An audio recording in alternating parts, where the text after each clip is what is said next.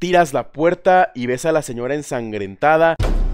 Para empezar, tu vehículo no es tu domicilio, no puedes tener un patrimonio en un Centra, no mames saco mi arma de fuego y neutralizo la agresión, como está tipificado incluso, dos disparos al pecho y uno a la cabeza. Vamos a hacer un experimento con ustedes en casa y yo aquí les voy a enseñar algunos puntos de dolor bastante efectivos. Hey, muy buenas comandos, ¿cómo han estado? Sean bienvenidos a otro videoblog sobre historias policiales y el día de hoy tenemos un video muy especial. Esporádicamente durante mis videos me han preguntado que qué se necesita para que un policía utilice su gas pimienta, su bastón policial, su arma de fuego, cómo sabes cuándo debes ponerte un poco más agresivo, cómo sabes que la situación no va a escalar, cómo mides el peligro de cada caso con el que vas a lidiar. Bueno, todo eso te lo enseñan en la Academia de Policía en algo llamado el modelo de uso de la fuerza. Esta es una pequeña tablita donde en base a qué acción tú vas a reaccionar de tal manera. Suena muy bonito, muy fácil y muy sencillo, pero son meses y meses de clases de esto. Y de hecho, les voy a poner un examen, les voy a poner un examen antes de empezar toda la explicación. Un examen que a mí me pusieron y fue relacionado a derechos humanos y al modelo de uso de la fuerza. Que por cierto, yo lo reprobé. Bueno, lo pasé con 6 después. Déjenme en un comentario su respuesta, las voy a estar leyendo, pero bueno, pongan atención al ejemplo y después me contestan en un comentario cómo actuarían ustedes como policía. Les llaman el número de emergencia, que hay una persona en situación de calle tirada en la vía pública,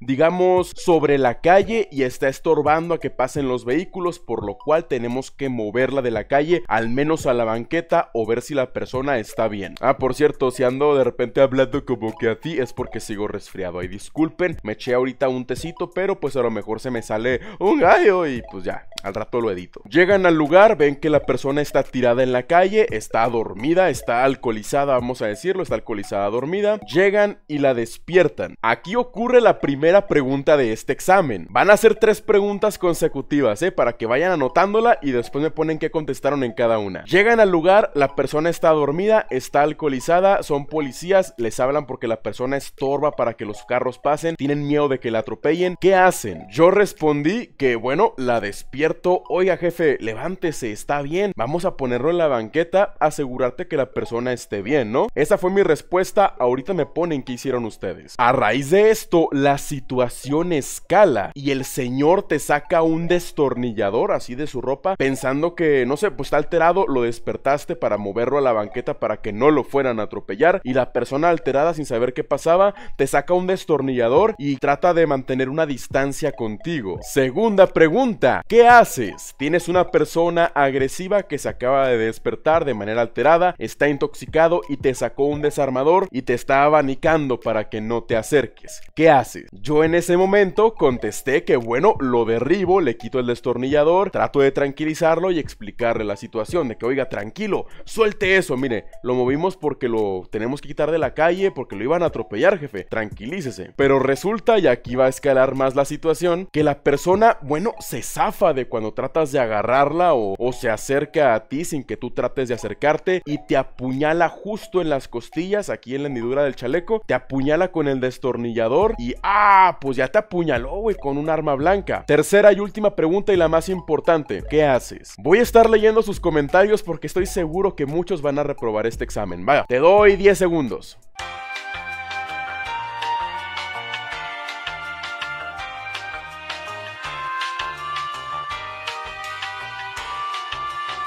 Bueno, yo contesté que si ya fui agredido, si ya trataron de atentar contra mi vida, si literalmente tengo un destornillador clavado en las costillas y probablemente un pulmón perforado, saco mi arma de fuego y neutralizo la agresión, como está tipificado incluso, dos disparos al pecho y uno a la cabeza. Pues resulta que no, que estoy reprobado y que según derechos humanos, ojo, según derechos humanos, no el modelo de uso de la fuerza, según derechos humanos, lo que debía haber hecho es que al resultar herido, apuñalado o incluso si me está abanicando con un arma blanca, bueno, mi deber era retirarme del lugar. ¿Por qué? Porque según ya cumplí mi misión, quitar al señor de la calle. Ya no es necesario quedarme ahí ni nada. Y si él quiere matarme por haberlo quitado de la calle, no puedo hacer nada al respecto. Me tengo que retirar. Y por eso reprobé el examen. Voy a estarlos leyendo a ver cuántos de ustedes también reprobaron como yo. Pero es que ahorita vamos a hablar de lo que es en verdad el modelo de uso de la fuerza, que creo que ya me desvié mucho del tema. El modelo de uso de la fuerza es esta tablita. Son unas escaleras que van bajando o subiendo, depende de cómo la quieras acomodar, en la cual debes ir escalón por escalón por escalón hasta que la situación se solucione. Tenemos seis escalones principales. La presencia policial, la verbalización, también conocida como comandos verbales, control físico leve, control físico completo, técnicas defensivas no letales y por último la fuerza letal, siendo esta tu última opción.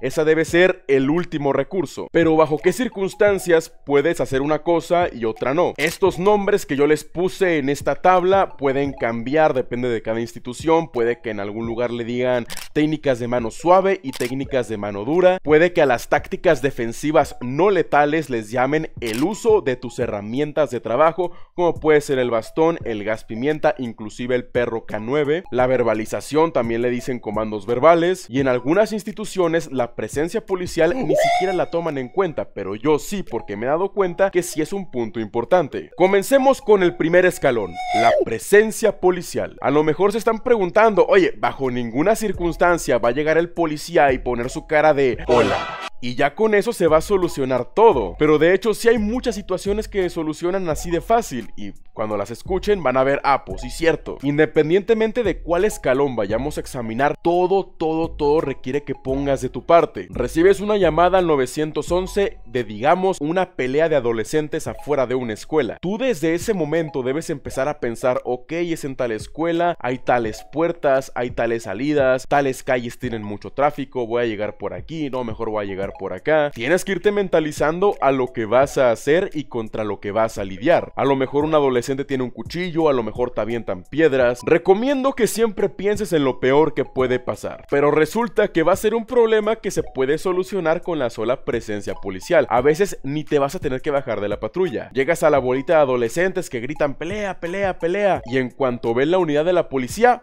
¡fium! Todos se disipan, todos salen corriendo, quién se peleó, quién sabe. Y el problema básicamente desapareció únicamente con la presencia policial. No por esto digo que si te hablan para cosas de esa índole, no vayas mentalizado, no vayas preparado, porque cualquier cosa puede pasar. Otro ejemplo podría ser que te hablan por una fiesta escandalosa. Te paras en el exterior del domicilio, te bajas de la unidad e inmediatamente bajan la música. El dueño de la casa saben que ya se acabó la fiesta, ya le hablaron a la policía. Perdón oficial, ya vamos a bajarle. Tú a, a lo mejor tú todavía ni siquiera le dices nada. Pero las personas ya por iniciativa, ok, sí, ya apagué la música, ya se acabó la fiesta, no quiero problemas y listo. No tuviste que dar indicaciones, por iniciativa propia el problema se terminó y solo fue necesaria tu presencia. Si nos ponemos a pensar, veremos que bueno, una pelea de adolescentes, una fiesta escandalosa, son problemas muy pero muy comunes, así que sí puedes solucionar muchos de esos problemas únicamente con presencia, con llegar. Pero tampoco te voy a mentir, la mayoría requieren o comandos verbales. Un policía, un buen policía, tiene que desarrollar un léxico y una manera de adaptarse a platicar con cualquier persona. Porque en la calle te vas a topar de todo, te vas a topar desde el... Señor oficial, disculpe, no creo que mi conducta sea inapropiada. Por favor, si puede decirme en qué artículo se basa para arrestarme, yo lo acompañaré con todo gusto. De lo contrario, me resistiré al arresto. Hasta un... Ah, sí me vale verga, pues ¿qué me vas a llevar, güey? Mames. Aquí nomás, tranquilo. Por cierto, perdí mi cachucha naranja, no sé dónde está, así que pues hoy vamos a utilizar esta de color negro, en lo que compro otra. Voy a comprar una especial para estos videos. Vas a toparte con gente que va a hablar en todos los estilos que puedas imaginar, y tú debes adaptarte a eso. No digo con eso que tú también te pongas a hablar de, no, pues es que en el artículo 36 de infracción 3, no, güey, no mames. Pero sí a que utilices palabras que la otra persona persona pueda comprender. Sé que suena muy mal decirlo, de que, ah, cierra, estás diciendo que personas no te van a entender porque hablas de manera muy propia. Y sí, sí, eso te estoy diciendo. Ve a las colonias más problemáticas o a las que están más lejos del centro de la ciudad y si tú hablas de una manera muy propia, no te van a tener en cuenta, no te van a hacer caso y a veces ni te van a entender. Entonces tienes que saber adaptarte a con qué público estás hablando. Con este pensamiento en mente, tú ya tienes que ir maquinando, ah, me van a hablar a una escuela,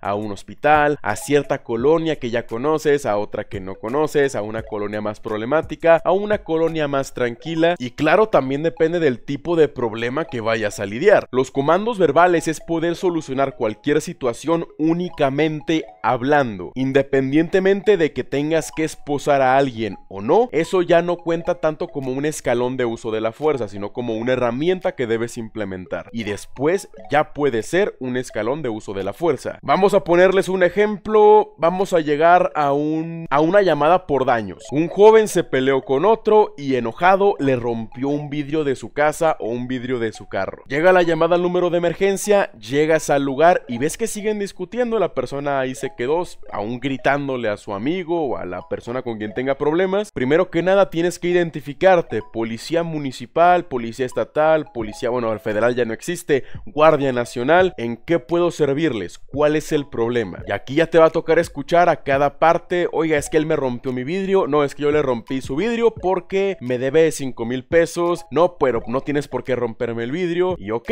siempre que llegues a una situación de discusión es un pedo porque todos quieren hablar primero, todos quieren ser el centro de atención, a lo mejor te puedes incluso llegar a desesperar y decir ¡Cállense todos! Y ya le das indicaciones a una persona para que hable antes que otra o que te hablen en ciertas pautas. A veces funciona, a veces no, pero debes comenzar llegando y escuchando. Si ya te abrumas, si ya no escuchas una parte porque la otra no se calla, debes comenzar a hablar con tranquilidad. Ahorita le escucho a usted, déjeme escucho de este lado, porque si me hablan los dos, no escucho absolutamente a ninguno. Que sepan que no los vas a escuchar hasta que tengan un orden. Después de escuchar la problemática, puedes empezar a sugerir opciones para solucionarla. Todo depende del tipo de situación, pero aquí donde rompieron un vidrio, puedes tratar de arreglar las cosas entre ellos, que no pase a mayores. Que seas policía no significa que tu trabajo es a huevo arrestar gente, a huevo disparar la gente. Estás para la prevención del delito y para ayudar a la ciudadanía. Si puedes ayudarlos con ese problema, más que mejor. Puedes sugerir que le pague una parte, puedes sugerir que le pague el vidrio. Cada situación es individual de otra. Tú tienes que ir viendo y midiendo de que, ok,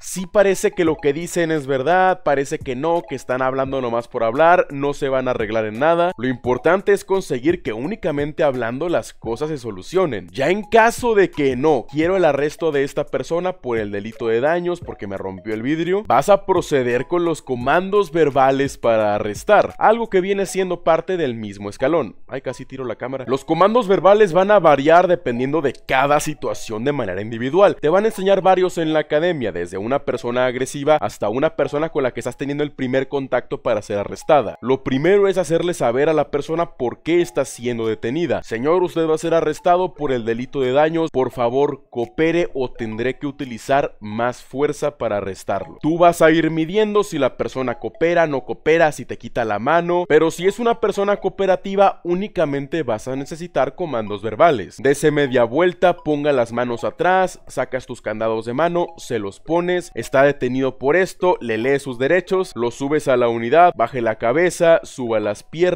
le voy a poner el cinturón de seguridad y listo, arrestaste a alguien por un delito o una falta administrativa únicamente con comandos verbales. Claro, tienes que usar tus esposas y tienes que agarrarlo para arrestarlo y subirlo a tu unidad. Eso no es tanto un escalón en el uso de la fuerza, sino que eso se llama conducción de detenidos. Pero esas herramientas y el uso de tus manos también van a ser un escalón más adelante. Pero digamos que llegas a una situación agresiva. Te llaman por el delito de violencia familiar. Un señor está golpeando a su esposa, la está golpeando feo. Llegas al domicilio, escuchas gritos dentro del domicilio, tiras la puerta y ves a la señora ensangrentada, sale corriendo para refugiarse atrás de ti y el señor está ahí en medio de la casa enojado haciendo su berrinche o lo que sea. No tiene armas, la golpeó con las manos, le dio cachetadas, le pegó con los puños. No es como en las las películas de que vas a sacar tu arma y arriba las manos, estás detenido. No, todo depende de cómo escale la situación. En este caso, viste algo llamado flagrancia. Llegaste al lugar, te percataste que la persona está siendo agredida, que está el agresor en el lugar, así que no tienes que estar preguntando, oiga, ¿y si le pegó? No, te estás dando cuenta de la situación en el lugar. Repito, eso se llama flagrancia. De ahí la frase te agarraron infraganti. En este caso vas a proceder de manera más inmediata a dar comandos verbales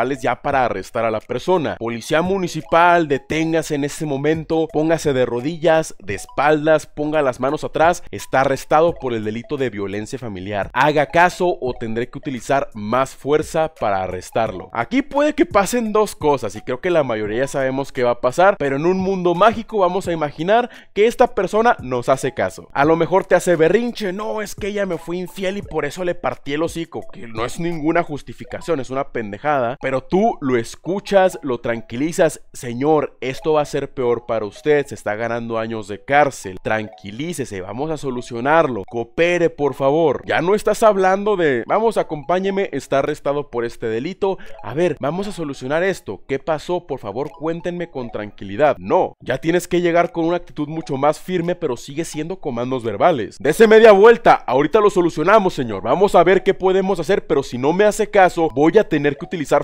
física contra usted. Dese la media vuelta ya, es una orden. Repito, imaginemos que es un mundo mágico y que la persona, bueno, te hace caso. Hace su berrinche, se pone de rodillas, te da la espalda, manos en la nuca o manos atrás, depende de cómo haya sido la conducción, dependiendo de cada situación. Lo tomas de la muñeca, tomas tus candados de mano, lo enganchas, lo esposas y lo subes a la unidad con los mismos métodos que estábamos hablando ahorita, leyendo de sus derechos, el motivo de su detención. Para este punto ya solicitaste apoyo o ya llegó apoyo por cuenta propia, le dan atención a la víctima, le llenan la papelería correspondiente, pero eso ya es punto y aparte. Conseguiste detener una persona agresiva y que causó lesiones a otra persona únicamente con comandos verbales. Pero como dijimos, esto casi nunca pasa. La mayoría de las veces que das esos comandos verbales a una persona agresiva, se pone todavía más agresiva. A ver, pues, arréstame tú y cuantos más. Pues si nomás le puse una chinga a mi vieja, ¿a poco nomás por eso me vas a llevar? Estás pero bien pendejo. Además, estoy en mi casa y el artículo 16 constitucional me dice que, que no sé qué dice, pero que no me puedes arrestar. Y pues ni modo, al cliente lo que pida. staff Pero ahorita llegaremos a lo del contacto físico fuerte, porque antes de llegar a un contacto físico completo, tienes que pasar por algo llamado contacto físico y verbal, también llamado técnicas de mano suave. ¿Qué les parece una escena de una persona conduciendo en estado de ebriedad? Algo también bastante común. Vas patrullando, se te atraviesa un vehículo, casi te choca y tú avisas por el radio y lo vas a ir a detener a ver por qué está manejando de esa manera tus luces, empieza a sonar el horn, el vehículo se detiene y te percatas que viene en estado de ebriedad. Aquí quiero hacer un paréntesis y es que antes, hace unos años aquí en México, con unos años me refiero a unos 6 años aproximadamente, únicamente la policía de tránsito, la policía vial, era la única autoridad que podía detenerte, bueno, arrestarte, detenerte para revisarte, no, pero sí arrestarte por manejar en estado de ebriedad. Un policía municipal o estatal que es la prevención del delito, únicamente podía arrestarte si ibas consumiendo bebidas embriagantes mientras manejabas, no si ibas manejando ya tomado, lo cual es una pendejada porque una persona alcoholizada es un gran peligro para todos los demás. Y les digo, hace aproximadamente 6 años esto ya lo cambiaron, porque ya sé que va a haber comentarios todos pendejos que digan, ¿y por qué lo paraste si tú no eres tránsito ni vialidad? Tú eres policía municipal, ¿por qué lo andas parando? No tienes por qué andar haciendo eso. El artículo, no me acuerdo cuál, dice que no puedes. Sí, sí, ya cállese viejo pendejo. Por eso vengo a aclararles que hace aproximadamente 6 años, todas las policías, también los militares, pueden detenerte, revisarte y arrestarte por conducir en estado de ebriedad o ir conduciendo mientras consumes alcohol, ya que esto es consumir alcohol en vía pública. Esto únicamente en México. Ya si tú eres de Argentina, Chile, España, pues allá será diferente. Total, un vehículo casi te choca casi te impacta o por la razón que sea tú tienes un motivo para detenerlo y ver qué está pasando, que esto se llama motivo de razón de molestia o bien conducta evasiva. Tú ves un vehículo que se pasa a un alto, un semáforo en rojo, tú lo puedes parar para revisarlo y ver que todo esté bien a pesar de que tú no seas policía de tránsito. No le vas a poner una multa, tú lo vas a meter al bote. Lo paras, no tiene nada malo, no se dio cuenta, fue un accidente, le llamas la atención. En cambio, se pasa un semáforo, casi choca, anda subiéndose a la banqueta, lo paras y viene alcoholizado, viene intoxicado o incluso y esto ha pasado, lo vienen golpeando al piloto o el piloto viene golpeando a alguien, ok, ya actuarás según la situación. Pero el ejemplo ahorita va a ser una persona manejando en estado de ebriedad, el cual estás facultado para detenerlo, revisarlo y arrestarlo. La persona casi te choca, lo paras y te das cuenta que está en estado etílico, que está borracho. Es un peligro que una persona así conduzca. Y puto el policía que deje ir a alguien en estado de ebriedad por dinero, porque esa persona puede cometer homicidio involuntario por andar manejando así. Y puto el que conduzca en estado de ebriedad y quiera quitarse la bronca con dinero. Tengan huevos y no conduzcan borrachos, o mínimo acepten las consecuencias de sus acciones, ya están grandecitos. Me encabroné, pero es que ya he visto un chingo de gente que, pues si nomás vengo manejando borracho, no mames, he visto un vergo de accidentes y gente que mata a otra que ni la culpa tenía porque se les hizo muy fácil manejar borrachos. Pero bueno, que chinguen a su madre esa clase de personas y ojalá se mueran. Continuemos. Te percatas que el piloto viene en estado de ebriedad, le mencionas a la persona que está cometiendo una falta o un delito, dependiendo del país, a lo mejor en algún país es delito, aquí nomás es falta administrativa, y le haces mención que va a ser arrestado. Ya estás implementando presencia y comandos verbales, pero resulta que la persona no se quiere bajar o se baja y se pone agresiva o lo que tú quieras, pero que escale la situación. Para empezar, tu vehículo no es tu domicilio, no puedes tener un patrimonio en un Centra, no mames, y no es una extensión de tu domicilio, es un objeto como una caja. Tú puedes comprar una caja muy muy grande y ponerte en la calle dentro de tu caja que es muy muy grande, pero sigues estando en la calle dentro de una caja. El hecho de que estés dentro de tu vehículo no te da permiso a que cometas ningún acto ilegal porque estás en la vía pública y afectas a terceros. Tus derechos terminan donde comienzan los de los demás. En este caso, manejar en estado de ebriedad. Ah, es que es mi carro, sí, güey, pero tu carro conduce en la calle y la calle no es tuya pendejo. Así que no te hace caso, lo bajas o él se baja y no, pues ¿por qué me vas a llevar? Te trata de empujar o incluso no te trata de empujar, sino que te está evitando. Le haces mención de que señor va a ser arrestado, si trata de resistirse voy a tener que utilizar más fuerza contra usted. Por favor, evíteselo porque esto le va a tener más problemas a usted. Va a estar borracho, a lo mejor ni caso te hace, así que vas a tener que implementar tácticas de mano suave. ¿Cuáles son estas? Es cuando una persona ofrece resistencia no cooperativa, no una resistencia activa como tal de tratar de quitarte, de empujarte o salir corriendo, sino donde tú ya tienes que utilizar tus manos para guiar el arresto. El arresto ya no se concreta con solo decirle que ponga las manos atrás, lo tienes que tomar, le tienes que dar vuelta, le tienes que agarrar las manos y ponérselas atrás de la espalda, mantenerlas ahí y luego ya esposarlo. A lo mejor él no quiere que lo arrestes, trata de poner los brazos duros, trata de que no lo arrestes, pero no es una resistencia que tú digas, uy, qué difícil uy, cómo estoy batallando. No, es una resistencia que más bien te va a causar molestias. Junto con estas técnicas menos agresivas también tienen que venir más comandos verbales. Coopere, ponga la mano atrás, le voy a mover su mano, póngala atrás, deje de resistirse, lo voy a esposar, no quiero que haga movimientos bruscos, que sepa que va a haber una consecuencia si él escala esta situación. Total que debes de guiar todo su cuerpo o la mayoría para que el arresto se pueda concretar. Esto muy raras veces escala al siguiente punto porque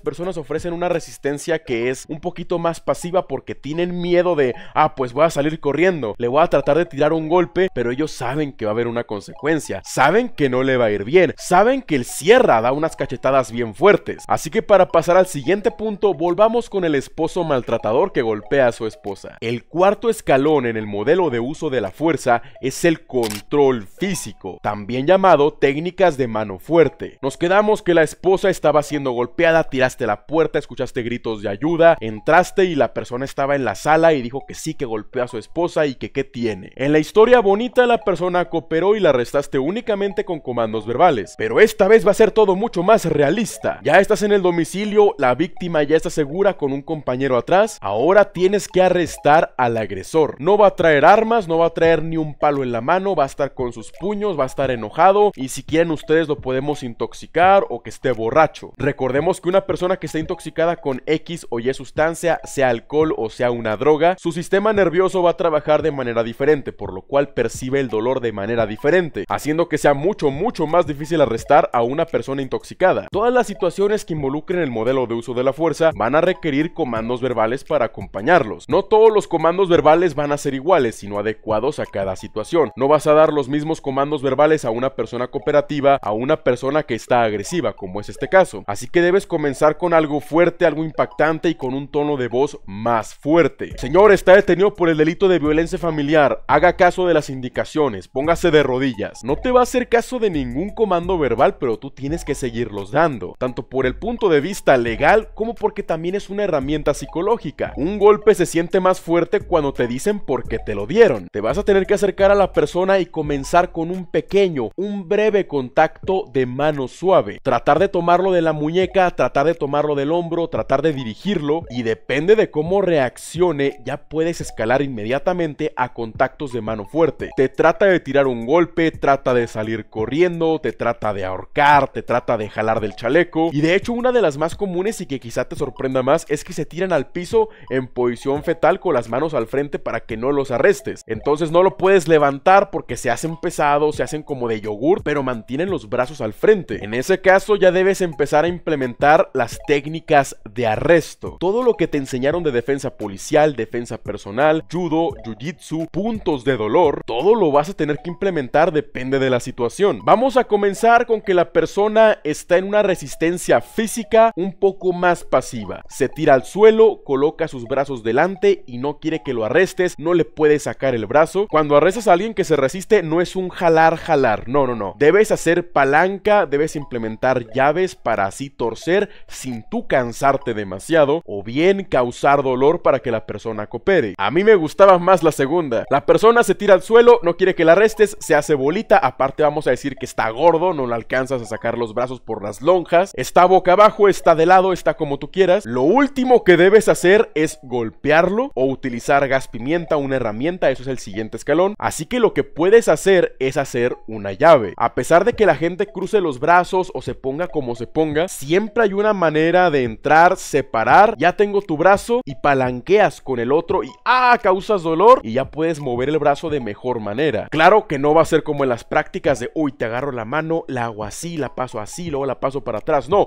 va a ser un a ver qué ese quieto, hijo de su puta madre. Y te vas a cansar, vas a batallar, quizá no llegues a los golpes, pero sí va a ser un estar moviéndolo, estar tratando de torcerlo, él se va a volver a reincorporar, va a quitar la mano y es por eso que a mí me gustaban mucho más los puntos de dolor, se me hacían más sencillos y más divertidos. Puntos de presión donde tú vas a tratar de presionar un punto específico del cuerpo para causar dolor, como cuando te agarran de esta parte de los hombros y te aprietan el nervio, algo parecido. Y los puntos blandos, donde no es tanto que apliques presión en un punto, sino que la piel y el tejido ahí es más sensible o tenemos más tejido adiposo, o sea, grasita. Y el hecho de agarrar incluso una cantidad así pequeña de piel duele bastante. Y como sé que ustedes no van a estar a gustos a que les enseñe algunos, vamos a hacer un experimento, un, experimento seguro, no se vayan a matar. Vamos a hacer un experimento con ustedes en casa y yo aquí les voy a enseñar algunos puntos de dolor bastante efectivos. Para esto me tengo que quitar el chaleco. Sí, estoy sudado, con el chaleco sudas antes de que me lo digan. Los puntos de presión suelen ser los más populares y tenemos en todo el cuerpo, desde el rostro hasta las piernas, los brazos, el abdomen, el pecho. No me voy a extender mucho con esto, a lo mejor podemos hacer un video únicamente sobre técnicas de arresto y cómo causar dolor a una persona que se resiste. Déjenme en un comentario si quieren que hablemos de eso, pero comencemos enseñándoles dos puntos de presión en el rostro. Bueno, tres, tres, tres puntos. El primero, y para eso me toca hacer el audífono hacia acá, está justo atrás de la oreja, enfrente de donde yo tengo la F. Justo aquí tenemos un punto que de hecho si ustedes se tocan este punto de aquí y con el dedo presionan van a sentir un pequeño dolor. No presionen muy fuerte, no mamen, se van a lastimar. En una situación de arrestar a alguien agresivo con los pulgares, tomas esta parte y presionas con toda tu fuerza, duele muchísimo. Otro punto muy sensible de nuestro rostro para la presión son los pómulos, los huesitos estos que tenemos aquí. Si tú presionas estos huesos con una superficie dura, digamos tus falanges de los dedos o incluso los nudillos, y no, no me refiero a darle un golpe, si con la falange de mi dedo coloco aquí, aquí tengo el huesito, pones hueso contra hueso y presionas tu rostro, vas a sentir una presión y un dolor. Ahora, esto en el suelo, con una persona que tiene sujetada de esta manera, comienzas a presionar su rostro así y vas a causarle mucho dolor. Por eso tienes que decir comandos verbales. Haga caso, deje de resistirse, ponga las manos atrás, porque si no el dolor va a continuar. Y mi favorita del rostro y la más chistosa es la nariz. Si tú tomas tu nariz y la tratas de mover, toda tu cabeza lo va a seguir. Es algo muy natural, ni modo que te la despegues. Entonces, ¿qué pasa si hacemos la nariz hacia arriba? Esto, la neta, sí me va a doler. Con el pulgar, esto se hace con el pulgar o bien con esta parte de la mano a una persona. No es un golpe, sino a una persona que trata de resistirse. O sea, le pones la mano y luego aplicas la presión. Lo voy a hacer con el pulgar en esta ocasión. Lo colocas aquí en la nariz y haces hacia arriba la nariz. Van a ver que duele y no se trata de, ay, pues a ver, a ver hasta qué punto me duele. No, o sea, tú haces eso con una persona que está agresiva y con fuerza, vas a poder dirigir su cabeza con toda la tranquilidad del mundo y vas a hacerle la cabeza hacia atrás, haciendo que ya no pueda defenderse tanto hacia el frente. Otros puntos de presión que tenemos también muy presentes son aquí los de los hombros. No alcanzo, no mamen. ¡Ah! Cuando alguien llega por atrás y te presiona los nervios de esta parte es de que, ay güey, me dolió. Bueno, esos son puntos de presión también y también funcionan. Los tomas, los aprietas y ríndase. Pero otro también muy importante es el plexo solar. Aquí tenemos un hueso llamado esternón. Y así como otro hueso que es el pómulo, si tú lo pones con una superficie dura y aplicas presión, duele mucho. Pongan la falange de su dedo de esta manera y van a colocarla justo aquí en el huesito que tenemos en el centro y luego presionen. No mucho, no se lastimen, pero van a sentir que, ay, como que quiere doler. Ahora imagínenlo con una persona que está sobre ti diciendo, ríndase, ríndase, coopere, con todo el peso de tu cuerpo y con toda la fuerza que puedas aplicar. Es un punto muy útil. Mientras que por otro lado, las zonas blandas pueden ser estas partes, que aquí si tomas la piel duele, la parte de atrás de las rodillas y mi favorita, que a ver si puedo porque traigo playera de manga larga. La piel que tenemos justo aquí, aquí como que la que nos cuelga, igualmente aunque seas una persona delgada, aquí vas a tener piel que vas a poder tomar. Tomar la piel de aquí, así como voy a tomar mi playera, agarrarla así, duele mucho. Tratas de hacer que una persona se rinda para arrestarla, tomas la piel de aquí, digo, pues en, un aspecto de uno contra uno sería de frente o sería desde atrás, aquí va a estar un poquito complicado. Tomas esta piel, incluso así un pellizco con dos dedos, así, con toda tu mano, que aquí quede guardada la, carne. Tomen esta parte de su piel y aprieten un poquito, es un dolor considerable. Ahora imagínenlo a gran escala, con mucha fuerza. Esos son algunos de los puntos de presión o de dolor que más se suelen utilizar con una persona que no es cooperativa que se resiste físicamente, pero que no te está agrediendo, simplemente no quiere ser arrestada y va a usar su cuerpo para que no lo arrestes. Mambrú se fue a la guerra, qué dolor, qué dolor, qué pena. Sin embargo, como parte de las mismas técnicas de control de mano fuerte o control físico completo, también ya pueden aplicar derribos, llaves o incluso golpes. Ya sabemos que un policía o un militar cuando arresta a alguien no debe golpear. Sin embargo, en las técnicas de mano dura o control físico completo, pues aplican llaves, aplican derribos, puntos de dolor. Es una persona que ya no es cooperativa en lo absoluto, se resiste de todas las maneras posibles. Incluso si escalamos la situación, podemos decir que te trata de golpear, tú tienes que tratar de quitarte los golpes y derribarlo. No tratar de golpearlo tú también, esto no es boxeo. Si ha habido situaciones donde a veces un golpe te puede solucionar las cosas, puede aflojarlo para restarlo más fácil, o bien puede salvarte de que te causen una lesión, digamos, te iba a golpear y ya no pudiste derribarlo y viste que golpearlo en el estómago funcionaría o incluso en el rostro, pero es una situación muy delicada y es lo último,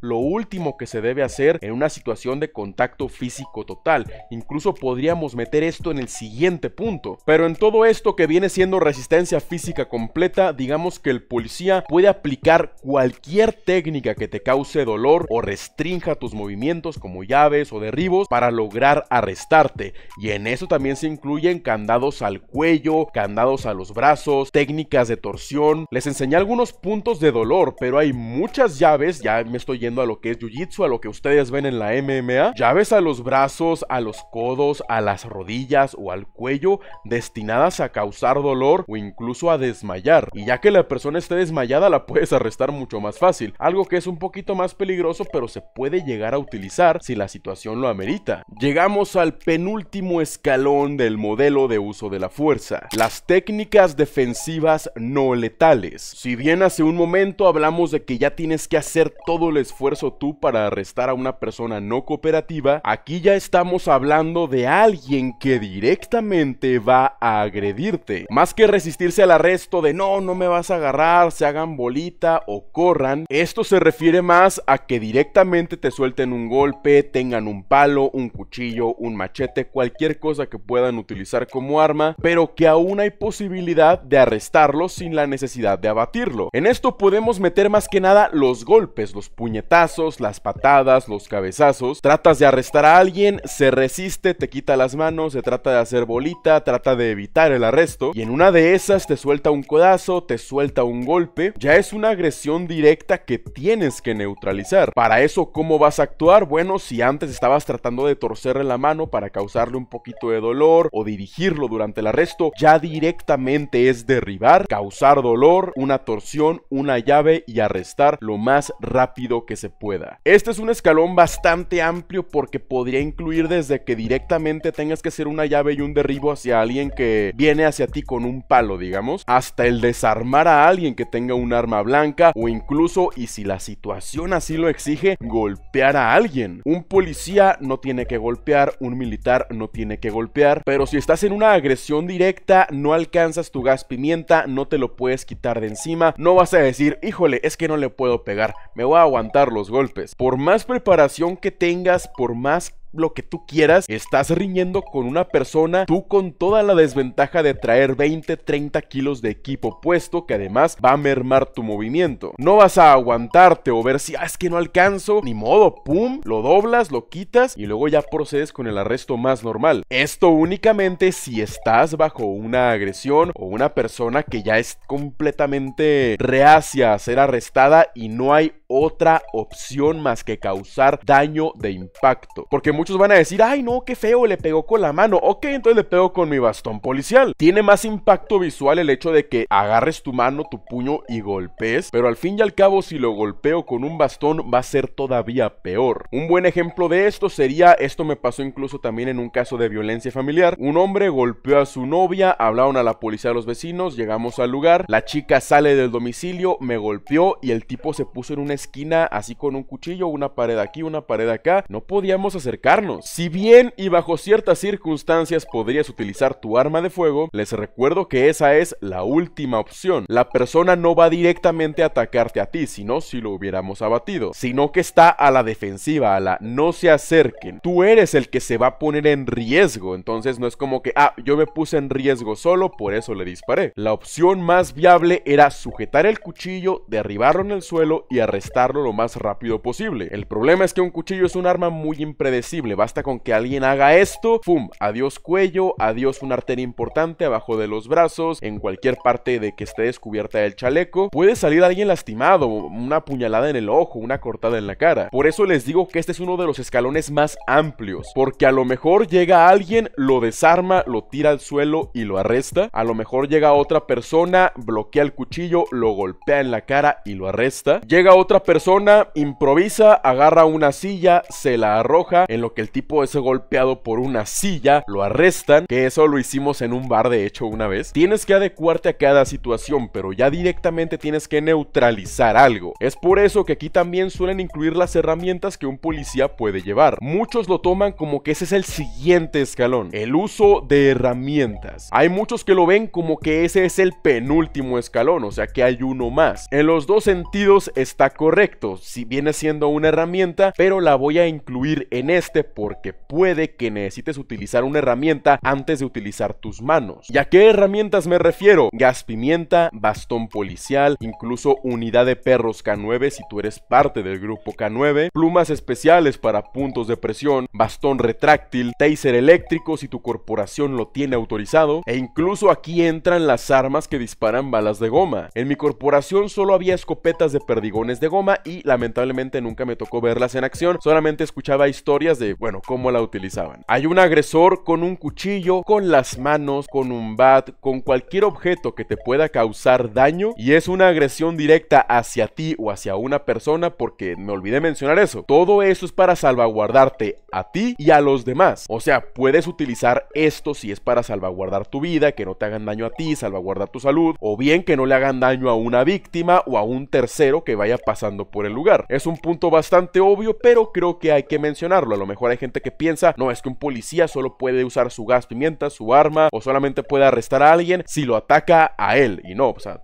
es tu herramienta es para defender a todos y a ti mismo. Para esta situación tengo un evento que me tocó vivir a mí, estuvo bastante chistoso porque me gasearon, pero donde utilizamos la mayoría de estas herramientas. Llegamos a una fiesta escandalosa únicamente hacer la indicación de que, oigan, pueden bajar un poco el volumen ya para no molestarlos más tarde, ya son las 2 de la mañana, ya hay muchas quejas, ya llévense la fiesta en paz, tranquilitos, música más bajita. ¿Qué necesidad tienen de que vengamos a molestarlos otra vez? Ninguna, vamos a llevar la fiesta en paz. Pues parece que que les gritamos putos si le bajas a la música. Era un grupo más o menos como de 7 u 8 hombres, todos altos, gorditos, medio fornidos, ya de 30, 40 años más o menos. Todos se pusieron en un plan de que no, ¿por qué le voy a bajar? Estoy en mi casa. Y no entiendo a esa gente, o sea, sí, es tu casa, pero tus derechos terminan donde empiezan los de los demás. Si a una persona ya le molesta el ruido, si le estás afectando a ella a las 2 de la mañana, o sea que sí es viable, que sí es factible, no a la 1 de la tarde, digamos, vamos a tener que acudir, llamarte la atención o incluso ponerte una multa que se va a reflejar en el agua, en el gas, en la luz, en el predial, en lo que te caiga, pero esa multa te va a caer sí o sí. No veo la necesidad de esas personas de, no, pues ¿por qué le voy a bajar? O sea, no sé qué piensan que va a pasar en su cabeza. Híjole, ya nos dijeron que no le van a bajar y que chinguemos a nuestra madre.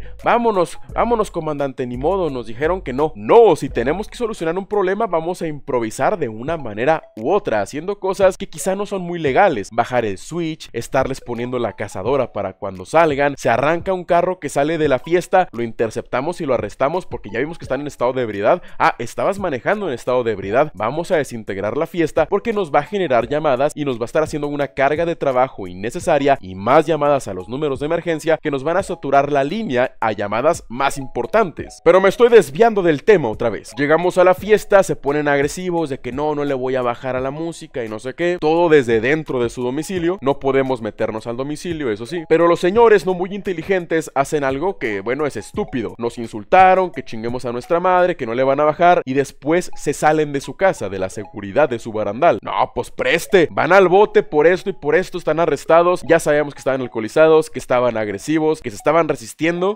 Directamente con técnicas de mano suave, luego de mano fuerte. Derribamos a las personas, un tipo saca un, no sé, era un tubo. Un compañero saca su gas pimienta, empieza a rociar a algunos porque éramos menos, éramos como cuatro policías contra siete cabrones. Y antes de que digan la pendejada, pues sí, pero pues ustedes traen pistola, yo no. Pues sí, pendejo, pero la pistola no es un juguete para andarla disparando cada vez que quieres. Vas a utilizarla únicamente cuando debas. No, uy, son siete. ¡Pum! Pues no, güey. Yo tenía un mono del cuello así para tratar de reducirlo y que llega uno de mis sargentos. Ah, saludos al sargento Barriga. Lo quiero mucho, es uno de mis sargentos favoritos. Pues que mientras yo lo tengo así, más o menos pues a la altura de mi cara, llega con el gas pimienta y ustedes son yo, ustedes son mis ojos. Y en vez de llegar y bueno, gasear al tipo que yo tenía sujeto así, que llega derechito y agárralo, cierra, agárralo fue como que, ah, no mames, era el otro güey. Pero a lo que va la historia, pues es que ya pasamos a control físico, llaves, derribos, el uso del gas, había un tipo con un tubo, es un arma blanca, te puede causar lesiones, fracturas. Se autoriza el uso de herramientas, en este caso gas pimienta, otro compañero bajó su bastón policial y estaba tratando de alejar a otros dos tipos que se quieren acercar. El bastón puede servir como arma de disuasión, puede abanicarse para mantener alejados a los agresores, puede utilizarse ciertos golpes, hay muchos golpes con el bastón para causar dolor o incluso golpes girándolo para que impacte zonas blandas, lo cual duele mucho. Y hasta que las personas ya dejaron de resistirse, dejaron de agredirnos, Ok, bajamos nuestro índice de agresividad a técnicas de mano suave que ya nomás es para que, a ver, termina de doblarte y te voy a subir a la unidad. Y ahora sí hemos llegado al último punto del modelo de uso de la fuerza, la fuerza letal, neutralizar, o sea, matar. Voy a utilizar el término neutralizar porque es el que más se utiliza, pero tengan en claro esto, cuando yo digo neutralizar a un agresor, no significa que lo vas a matar sí o sí, o que tienes que asegurarte de que esté muerto, sino que lo vas a neutralizar, vas a hacer que deje de agredirte, pero las técnicas para hacerlo usualmente terminan con el fallecimiento del agresor. Ahorita se los explico mucho mejor. Para empezar, un policía puede traer arma corta o arma corta y arma larga. Yo traía una pistola Beretta 9 x 19 milímetros y un subfusil Bushmaster 9 x 19 milímetros. Otros compañeros tenían la misma pistola y además un fusil Panther calibre .223. Otros traían un Beretta 223. Había escopetas calibre 12 y en otras corporaciones he visto sus fusiles MP5s, MP7s, ambos 9 x 19 milímetros. He visto Chris Vector, pero a lo que quiero llegar con esto es que el uso de tu arma de fuego no es como que, ah, esta arma es para ladrones y esta para criminales muy armados. No, la que tengas a la mano, la que tenga más cerca y la que te facilite más el neutralizar la agresión es la que vas a utilizar. En la academia se te suele decir que tu arma corta es tu arma principal y el arma larga es tu arma secundaria, pero cuando estuve en el grupo especial Hydra me enseñaron más bien que mi arma principal es el arma larga y mi arma secundaria es el arma corta, o sea la pistola. Independientemente de eso, utiliza el arma que más rápido pueda salvar tu vida o la de los demás. ¿Se dieron cuenta que no mencioné las armas de fuego en ningún otro punto? Muchas personas creen que para detener un ladrón o para conseguir arrestar a alguien puedes utilizar el arma de fuego. La frase pendeja de pues ustedes tienen pistola, pueden arrestarnos más fácil. No, las armas de fuego son única y exclusivamente para detener una agresión real e inminente hacia tu persona o hacia otra persona que quiera salvaguardar su vida y su salud. No es como que, uy, estoy batallando mucho para arrestar a este sujeto. ¡Pum! Ya, ya más fácil, ya le di un balazo en la pierna. No, tampoco es de que, uy, ese ladrón va escapando, le voy a disparar para que sea más fácil arrestarlo. No, un arma de fuego no es una herramienta para facilitar un arresto, ni para asustar, ni para nada de eso. Es única y exclusivamente para neutralizar una agresión. Aquí en México el modelo de uso de la fuerza dicta que para detener a un agresor, que ahora sí les recuerdo, no es un posible agresor, es una agresión real e inminente. O sea que tú sabes que existe y sabes que va hacia ti o hacia otra persona y tú tienes que salvaguardar su vida. Una persona corriendo a ti con un cuchillo, una persona con un arma de fuego. Incluso puedo incluir aquí armas de utilería, porque tú estás viendo una amenaza, algo que parece un arma, es real, tú la estás viendo y es inminente, la saca para robar una tienda, pero es de utilería, tú no sabías ni modo. Así que si ustedes van por la calle con armas de utilería, armas de airsoft para hacerle la mamada, pues sí te pueden matar por eso. Ah, les decía que bueno, aquí es para detener una agresión, no es para arrestar ni para nada parecido, con tiros reglamentarios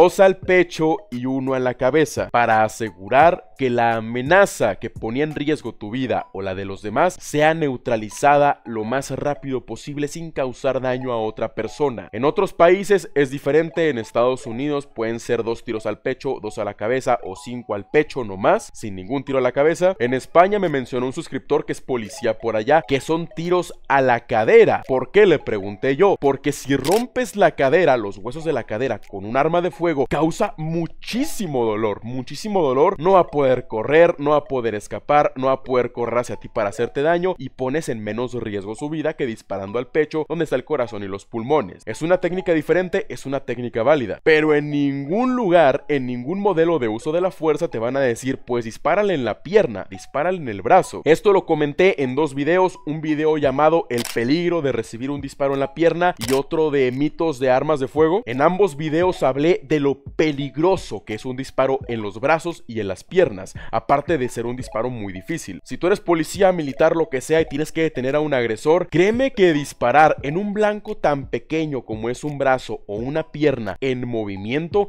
es algo estúpidamente difícil. No es como en Call of Duty, no es como en los jueguitos, porque hubo un chingo de comentarios de expertos en videojuegos diciendo que es bien fácil. No, no es fácil, no es como el airsoft, no es como el paintball. Aquí te mueres, aquí te mueres y ya. Entonces no vas a tratar de arriesgarte para empezar con un tiro más difícil cuando el torso es un blanco mucho más fácil. Por eso son primero dos al pecho para retrasar y luego uno a la cabeza. Razón por la cual muchas veces la policía utiliza el calibre 9 x 19 milímetros. Un cartucho o una bala con un alto poder de parada. Si recibes tú por ejemplo un disparo con un fusil de asalto 5.56 x 45 milímetros, sí te va a doler, sí te va a hacer un desmadre adentro, pero tú lo vas a sentir como una perforación, digamos, como un apuñalamiento. Por otro lado, un disparo de cartucho 9 milímetros que es más redondito o incluso en su versión en punta chata, lo vas a sentir como una puñalada y como un golpe en tu cuerpo, lo cual te va a frenar y va a evitar que el agresor siga continuando. Recordemos que buscamos detener una agresión lo más rápido posible. Dos al pecho y uno a la cabeza va a hacer que el agresor se detenga por el dolor, por el choque hidrostático y en la cabeza para cesar sus funciones vitales. Si tú disparas a la pierna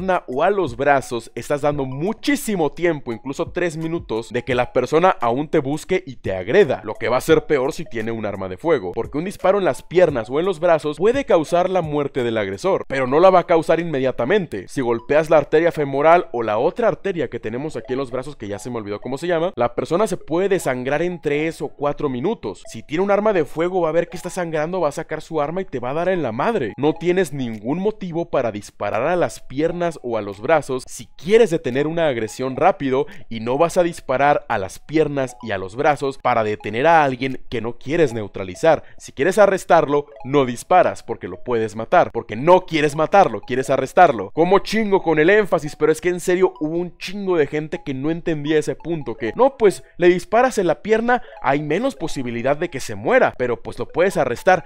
Es que no tiene que haber ninguna posibilidad de que se muera. Y si ya buscas neutralizarlo, pues pues dispárale en las piernas y eso va a hacer que vaya más lento y luego ya le disparas en el pecho y luego no, porque mejor primero dispara en el pecho, ¿para qué vas a dar oportunidad en fallar disparos que son complicados y que incluso puede que no lo detengan? Aquí mismo en YouTube hay varios canales donde muestran las cámaras corporales de los policías de Estados Unidos. Váyanse a verlos, van a ver que a veces les vacían 8, 10, 15 rondas, a veces 30 rondas entre dos policías a un agresor con un cuchillo, con un machete, con otra arma de fuego. Y aunque hayan terminado de vaciarle los cargadores, el agresor sigue corriendo hacia ellos, sigue disparando. Tú no sabes bajo qué sustancias está el agresor, tú no sabes su umbral del dolor, tú no sabes si impactaste un punto vital. Ok, diste en el pecho, pero la bala a lo mejor pasó muy cerca de su corazón, le perforaste un pulmón, pero el otro le funciona y la adrenalina te dispara un instinto de supervivencia. No vas a ponerte a jugar de que le voy a dar en la pierna para retrasarlo, luego en el pecho, después en el hombro para que tire el cuchillo y luego ya le doy en la cabeza. No, esas son pendejadas de niños que juegan demasiados videojuegos. Pero me estoy desviando del tema. Como dije, la fuerza letal, el uso de tu arma de fuego es únicamente para salvaguardar tu vida o la de los demás, o tu salud de manera seria y la de los demás. Pongamos como ejemplo varias cosas, es que sí se puede usar tu arma bajo varias circunstancias. Para empezar, disparar a los neumáticos no está en el modelo de uso de la fuerza porque tú al disparar a los neumáticos puedes causar que la persona pierda el control y cause un accidente aún más grave. En algunos lugares está autorizado, bajo algunas circunstancias está autorizado, pero va a ser específico de cada caso en particular. Van en carretera, por radio alguien lo sugiere, por radio lo corroboran, helicópteros ven que no haya nada cerca, ok,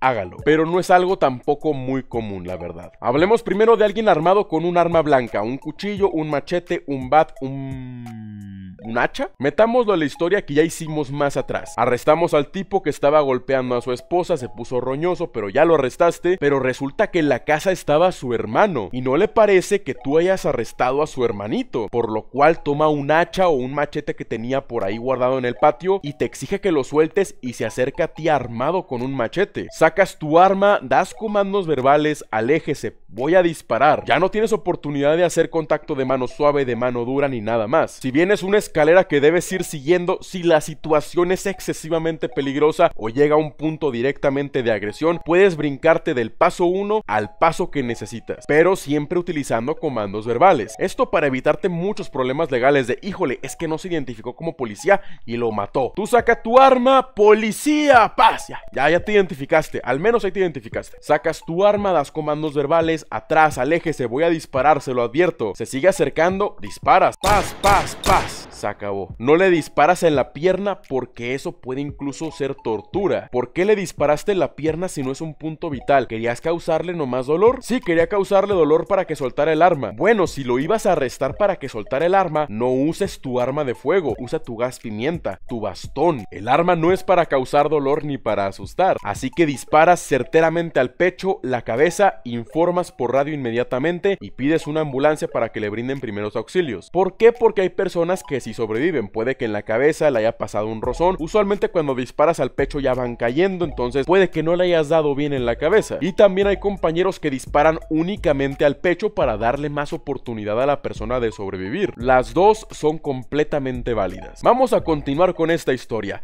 Neutralizaste al hermano del tipo, el otro ya está rumbo a la comandancia, pero resulta que tenían otro hermano que estaba metido con el crimen organizado. El tipo llega en su camioneta, dice, mi hermano lo mataste, y te saca un arma de fuego. Ya sea a una corta o a una larga distancia, tú ves el arma, te pones a cubierto y ya te están disparando. Desde donde estés y aunque estés a cubierto, tire el arma, tire el arma, refugiándote para que no te disparen. Y mientras sigues dando comandos verbales de tire el arma, ríndase, porque eso les digo, mete presión en la cabeza, tú ya tienes que buscar neutralizarlo igual, al pecho o a la cabeza, porque está en peligro tu vida. Disparas, te disparan, hay intercambio de proyectiles. Cuando en una de esas sales por otro flanco y pum, disparas directamente a la cabeza, 3-4 rondas, la persona queda inmóvil. Hasta que no se detiene la agresión, tú dejas de defenderte. Aunque veas que la persona ya está tirada, no te está disparando, recargas tu arma o te aseguras que tengas munición, te acercas y sigues dando comandos verbales. Bájese del vehículo, tire el arma, abres la puerta, registras que no haya nadie más, que no haya heridos, pasajeros, lo bajas y aunque esté abatido, lo tienes que esposar. Olvidé mencionar eso con el anterior. Lo tienes que esposar por protocolo. Tú no eres médico, tú no eres doctor y hay casos muy especiales en los cuales la gente sobrevive a varios disparos o a un disparo en la cabeza incluso. Tú no sabes si la persona es uno de esos casos súper especiales y aunque esté herido, se levanta y te da en la madre por la espalda. Así que por eso siempre lo tienes que esposar aunque ya esté abatido. Y aunque sí puedes corroborarlo para sentirte más tranquilo tú, en el reporte tú no vas a poner yo en base a mis conocimientos médicos chequé el pulso y ya había cesado sus funciones vitales. No, no vas a poder hacer eso porque te van a decir aquí en su reporte usted expresa que sus conocimientos médicos, ok, usted no estudió medicina, no, y ahí ya te vas a meter en un pedo. Mejor espósalo y quítate de broncas. Ya salvaste tu vida de alguien con un machete, de alguien con un arma de fuego, pero ¿qué tal algo más peculiar? Detienes un vehículo, un conductor está en estado de ebriedad, más o menos el ejemplo que dimos antes. Siempre que te acercas a un vehículo tienes que hacerlo en cierto ángulo para que la persona si tiene un arma no alcance a hacer esto y darte, tienes que ponerte un poquito más atrás, pero tú te confías, estás cansado por lo que sea, te paras exactamente atrás o te paras exactamente adelante. Es más, estás checando las placas de un carro robado y esas se parecen pero tienen un número, una letra diferente. Las placas de atrás no se ven bien, tienen lodo. Checas las de adelante, pues resulta que la persona te trata de atropellar. Atenta contra tu vida, no con un arma de fuego ni con un arma blanca, con un vehículo. Bueno, pues un vehículo también puede ser considerado un arma. Y un policía, un militar, tiene todo el permiso de abatir a alguien si utiliza su vehículo como arma. Si alguien va a atropellarte a ti,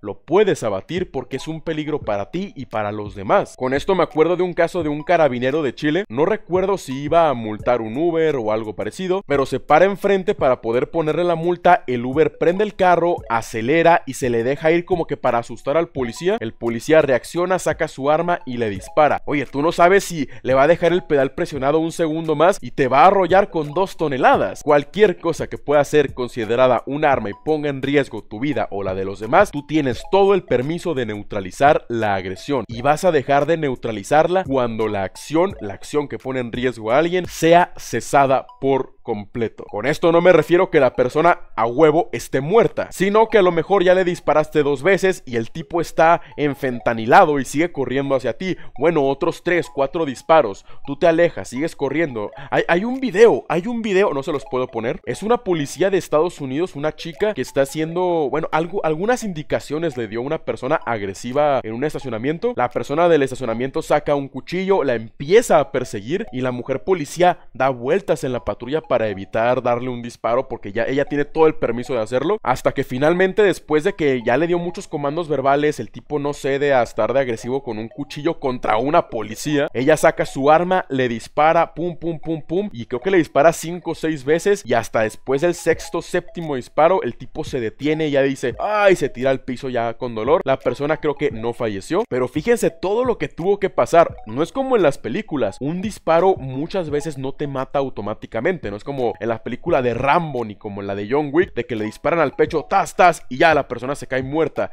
No, un disparo puede cesar tus funciones vitales solo de dos, bueno, de tres maneras. Con disparos en el cerebro que van a evitar que puedas enviar impulsos eléctricos al cuerpo, disparos en el corazón que van a hacer que tu cuerpo entre en shock en cosa de uno o dos segundos. Y esta no sé si incluirla muy bien, pero pues viene siendo otro tipo de neutralización. Disparos en la columna vertebral. Un disparo en la columna literalmente va a paralizar tu cuerpo. De frente es algo muy difícil porque está los intestinos, la bala se va a desviar entre la Aquí tenemos el esternón, las costillas y disparar por la espalda no es lo más recomendable porque si estaba de espalda, pues cómo te estaba agrediendo. Tendría que ser alguien que está a punto de hacerle daño a alguien, tú lo viste de espalda y disparaste. Aunque en ese caso, pues la cabeza es un blanco más fácil que la espina. Así que cuando tú utilizas tu arma de fuego para neutralizar a alguien, a menos de que des en estos tres puntos, la persona puede seguir tratando de agredirte por 10, 20, 50 segundos, 2 minutos, no sé, el tiempo que le tome desangrarse o sentir dolor. Les digo, hay varios videos donde incluso le descargan dos cargadores a una persona agresiva con un cuchillo o con otro tipo de arma y la persona sigue corriendo, corriendo detrás de los policías, los policías disparando hacia hacia atrás de que ya están hasta asustados de este güey no se cae. Puede ser por sustancias, puede ser por el umbral del dolor, puede ser por muchos factores. Hasta que el cuerpo colapse y el agresor se detenga es donde tú, ah, ok, ya,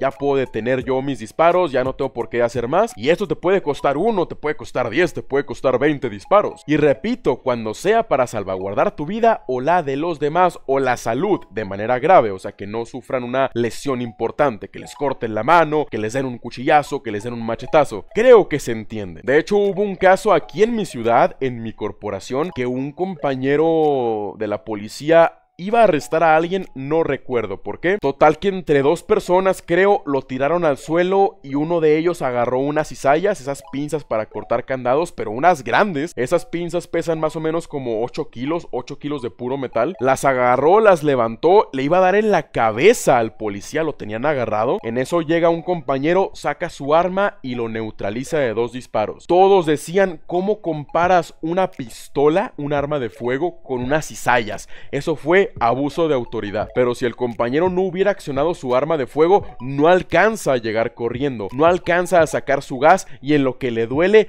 va a bajar la cizalla. No alcanzaba en distancia, no podía meter la unidad y aunque lo hubiera metido, de aquí a que se baja, ya le hubieran dado en la madre al compañero. Todos los eventos donde utilices un arma de fuego van a depender mucho de tu criterio y de tu conocimiento de la situación total. Porque a lo mejor la persona está con un cuchillo agresiva y está así con un bebé, que ese caso ya se los platiqué en el canal, el tipo que agarró de rehén a su hija, está con un cuchillo con su propia hija de rehén, su hija de dos años, y bueno, ¿Qué puedes hacer? Neutralízalo para que no le haga daño al bebé. Sí, pero está en un barranco y si el tipo fallece o resulta herido, va a tirar a la bebé. Ahí cambia toda la cosa. Hay dos personas asaltando una tienda con armas de fuego. Llegas al lugar, les apuntas, das comandos verbales. Uno se rinde, pero el otro no. ¿Qué haces? El otro te dispara, pero el otro se tira al piso. Ok, neutraliza solo a ese, pero al otro no lo descuidas. Mantienes el arma alejada de él. Pides apoyo. Realmente espero que si eres policía o militar, jamás tengas que detonar tu arma de fuego. Es una situación de estrés, te puede generar estrés en el futuro,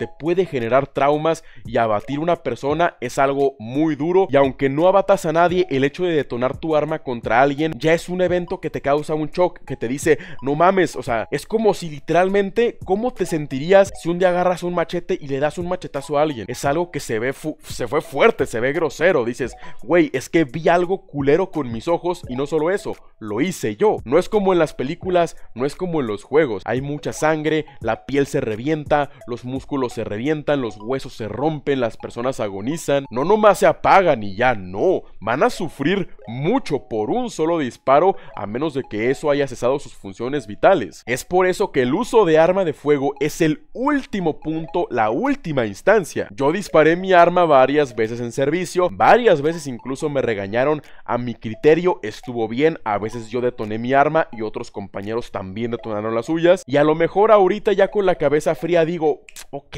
pudimos haber hecho esto diferente, pudimos haber cambiado esto, cambiar la táctica, hacer esta otra cosa diferente. En el momento a lo mejor no piensas y dices, ok, pues ni modo la pistola, pero no, no se calienten. Además usar tu arma te va a traer muchos problemas legales. Vas a ir a fiscalía, vas a hacer contestaciones legales, ver que no haya sido abuso de autoridad. No es un show, la neta es mucha papelería, así que traten de no usar su arma de fuego con irresponsabilidad si son parte de alguna corporación de seguridad pública o militares, también recuerden que para algo es, y si la situación lo amerita, utilícenla. Es mucho más fácil hacer una contestación legal, acreditar la legítima defensa, el por qué utilizaste tu arma, que revivir porque te mataron. Alguien saca un arma, acciona la tuya. Ya después verás si era una réplica, si no era una réplica. Alguien viene a ti con un cuchillo, machete, un hacha, algo que te pueda herir de gravedad o quitarte la vida. Comandos verbales, saca tu arma, dile lo que va a suceder si sigue acercándose y ni modo, accionas. Y no accionas para asustar. Dos al pecho, uno a la cabeza, disparos a la cadera, según como sea tu regulación del modelo de uso de la fuerza en tu país. Les repito que estos escalones pueden saltarse uno de otro, depende de cómo escale la situación, aunque los comandos verbales van a estar en prácticamente todos. Si llegas a una llamada y te reciben con disparos, no te vas a poner a decirle,